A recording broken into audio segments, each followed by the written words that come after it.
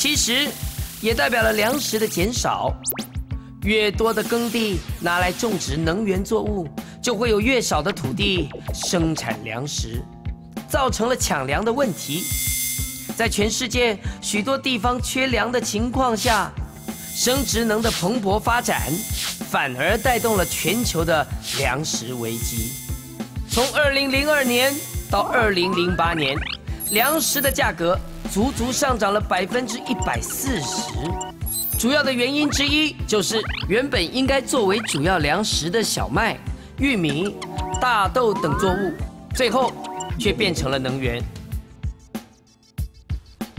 能源很重要，缺少了能源，经济无法发展，生活充满不便。但是，能源会比粮食重要吗？加满一辆车的油箱，所需要的作物足够让一个人吃上超过半年。这奢侈的行为让很多人认为生殖能的发展必须要改变。